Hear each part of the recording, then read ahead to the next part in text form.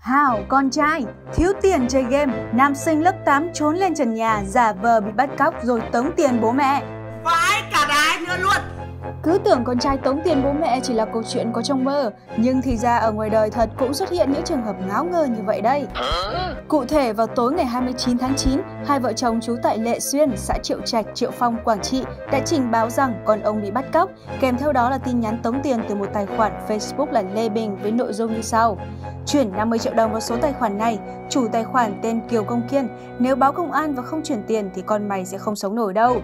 Lúc này cha mẹ đã rất lo lắng, công an thì sốt sắng đi tìm, chỉ sợ rằng cháu nó sẽ bị người ta làm tổn thương.